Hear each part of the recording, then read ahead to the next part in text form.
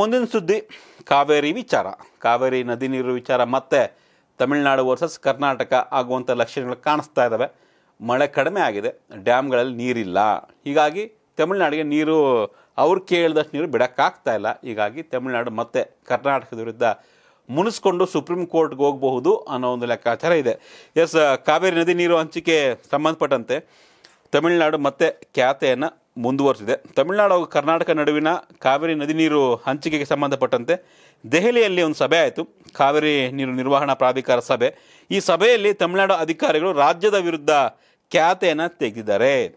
ತಮ್ಮ ಪಾಲಿನ ನೀರನ್ನು ಕರ್ನಾಟಕ ಬಾಕಿ ಉಳಿಸ್ಕೊಂಡಿದೆ ಅನ್ನೋದು ತಮಿಳುನಾಡು ರಾಜ್ಯದ ಪ್ರತಿನಿಧಿಗಳ ಹೇಳಿಕೆ.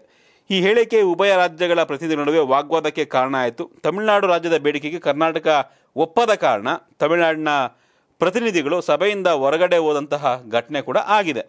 ಕರ್ನಾಟಕ ಸರ್ಕಾರ ಒತ್ತಡದ ಮೇರೆಗೆ ಬಿಡುಗಡೆ ಮಾಡಬೇಕಾದ ನೀರನ್ನು, ನೀರಿನ ಪ್ರಮಾಣವನ್ನು ಕಡಿಮೆ ಮಾಡಲು ಪ್ರಾಧಿಕಾರ ಪರಿಗಣಿಸ್ತಾ ಇದೆ ಅಂತ ತಮಿಳುನಾಡು ಅಧಿಕಾರಿಗಳು ಆರೋಪವನ್ನು ಮಾಡಿದ್ದಾರೆ.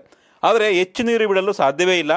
ಹತ್ತು ಸಾವಿರ ಕ್ಯೂಸೆಕ್ ಬದಲಿಗೆ ಎಂಟು ಸಾವಿರ ಕ್ಯೂಸೆಕ್ ನೀರು ಬಿಡುಗಡೆ ಮಾಡಬಹುದೆಂದು ಕರ್ನಾಟಕದ ಅಧಿಕಾರಿಗಳು ಹೇಳಿದರು. ರಾಜ್ಯದಲ್ಲಿ ಪ್ರಸಕ್ತ ವರ್ಷದಲ್ಲಿ ವಾಡಿಕೆಯಷ್ಟು ಮಳೆಯಾಗಿಲ್ಲ. ಅದರಲ್ಲೂ ಕಾವೇರಿ ಜಲಾನಯನ ಪ್ರದೇಶದಲ್ಲಿ ತೀವ್ರ ಮಳೆ ಕೊರತೆ ಇದೆ. ಈ ಕಾರಣಗಳಿಂದಾಗಿ ರಾಜ್ಯದ ಜಲಾಶಯಗಳು ಭರ್ತಿಯಾಗಿಲ್ಲ. ಹೀಗಾಗಿ ಜಲಾಶಯದಲ್ಲಿ ನೀರಿನ ಪ್ರಮಾಣ ಇಲ್ಲದೇ ಇರೋದನ್ನು ತಮಿಳುನಾಡಿಗೆ ಎಲ್ಲಿಂದ ನೀರು ಬಿಡೋಕ್ಕಾಗುತ್ತೆ ಅಂತ ಪ್ರಶ್ನೆಯನ್ನು ಮಾಡಿದ್ದಾರೆ. ಈ ಬಾರಿ ಮಳೆ ಕೊರತೆಯ ವರ್ಷವೆಂದು ಪರಿಗಣಿಸಬೇಕು ಅಂತ ಕರ್ನಾಟಕದಲ್ಲಿ ಮನವಿ ಮಾಡಿದ್ರು. ಇದಕ್ಕೆ ಪ್ರಾಧಿಕಾರ ಸಮ್ಮತಿಸೋದಕ್ಕೆ ಮುಂದಾಗಿತ್ತು. ಆದರೆ ಸಮಿತಿ ವೈಜ್ಞಾನಿಕವಾಗಿ ನಿಗದಿಪಡಿಸಿದ್ದನ್ನು ಪ್ರಾಧಿಕಾರವು ಕಡಿಮೆ ಮಾಡ್ತಿರೋದನ್ನು ಖಂಡಿಸಿ ತಮಿಳುನಾಡಿನ ಅಧಿಕಾರಿಗಳು ಸಭೆಯಿಂದ ಹೊರಗಡೆ ಹೋಗಿದ್ದಾರೆ. ಈ ನಡುವೆ ತಡರಾತ್ರಿ ಹೇಳಿಕೆ ಕೊಟ್ಟಿರ್ತಕ್ಕಂಥ ತಮಿಳುನಾಡಿನ ಜಲಸಂಪನ್ಮೂಲ ಸಚಿವ ದುರೈಮುರುಗನ್ ನಮ್ಮ ರಾಜ್ಯದ ಪಾಲಿನ ನೀರು ಪಡೆಯೋದಕ್ಕೆ ಸುಪ್ರೀಂ ಕೋರ್ಟ್ಗೆ ಮೊರೆ ಹೋಗಲಾಗುತ್ತೆ ಅಂತ ಹೇಳಿದ್ದಾರೆ.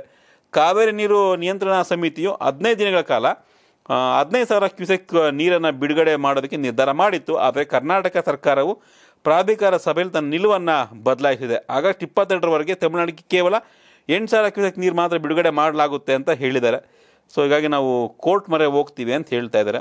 ಸೊ, ಅವ್ರು ಹೇಳೋ ಪ್ರಕಾರ ನೂರ ಹದಿನಾಲ್ಕು ಟಿ ಎಂ ಸಿ ಇದೆ ಕರ್ನಾಟಕದಲ್ಲಿ. ನೀರು ಬಿಡಿಸಿ ನಮಗೆ. ಹದಿನೈದು ಸಾವಿರ ಕ್ಯೂಸೆಕ್ ನೀರು ಬಿಡಬೇಕು ಅಂದರೆ ದಿನಕ್ಕೆ ಆಲ್ಮೋಸ್ಟು ಒಂದು ಕಾಲು ಟಿ ಎಂ ಸಿ ಒಂದು ಕಾಲು ಟಿ ಎಂ ಸಿ ನೀರು ಬಿಡಬೇಕು ಅಂದರೆ ಮೂವತ್ತೊಂದಲ್ಲಿ ಆಲ್ಮೋಸ್ಟ್ ನಲ್ವತ್ತು ಟಿ ಎಂ ಸಿ ನೀರು ಖಾಲಿ ಆಗುತ್ತೆ. ಅಂದರೆ ಕೆ ಆರ್ ಎಸ್ಸು ಮತ್ತು ಹೇಮಾವತಿ ಎರಡು ನೀರು ಖಾಲಿ ಮಾಡಬೇಕಾಗುತ್ತೆ ಅವ್ರಿಗೆ, ಕೊಡಬೇಕಾಗುತ್ತೆ. ಹಾಗಾಗಿ ಈಗ ಸದ್ಯಕ್ಕೆ ಒಂದು ಅರ್ಧದ ಡ್ಯಾಮ್ ಟಿ ಎಂ ಸಿ ಅರ್ಧದ ಡ್ಯಾಮ್ಗಳಲ್ಲಿ ಅರ್ಧ ನೀರಿದೆ. ಇರೋ ನೀರನ್ನು ತಮಿಳ್ನಾಡಿಗೆ ಬಿಟ್ಬಿಟ್ರೆ ಕರ್ನಾಟಕದವ್ರು ಏನು ಮಾಡಬೇಕು? ಕರ್ನಾಟಕದ ರೈತರಿಗೆ ಎಲ್ಲಿಂದ ನೀರು ಕೊಡಬೇಕಾಗುತ್ತೆ? ಬೆಂಗಳೂರಿಗೆ ಕುಡಿಯೋ ನೀರು ಕೂಡ ಸಾಕಷ್ಟು ಸಂಕಷ್ಟ ಆಗಬಹುದು. ಹೀಗಾಗಿ ಮಳೆ ಬಂದರೆ ನೀರು ಬಿಡಬಹುದು. ಈಗ ಇರ್ತಕ್ಕಂಥ ನೀರು ನಮಗೆ ಸಾಕಾಗಲ್ಲ ನಿಮ್ಗೆಲ್ಲಿ ಬಿಡೋಣ ಅನ್ನೋದು ನಮ್ಮ ವಾದ.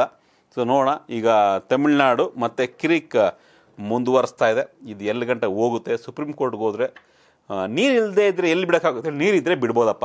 ಇಲ್ಲ ಅಂದರೆ ಸುಪ್ರೀಂ ಕೋರ್ಟ್ ತಾನೇ ಏನು ಮಾಡೋಕ್ಕಾಗುತ್ತೆ?